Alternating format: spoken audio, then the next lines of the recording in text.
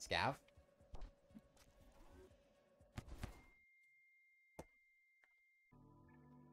The scavenger blew himself up and was carrying a second bomb on his person. And when his corpse flew to where I was, it blew me up as well. Whatever. Must have been a scav. Oh, you motherfucker!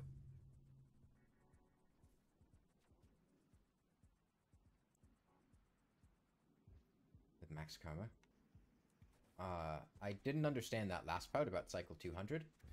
Um, you fucker! You motherfucker!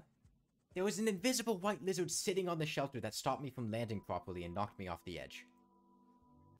What are these deaths?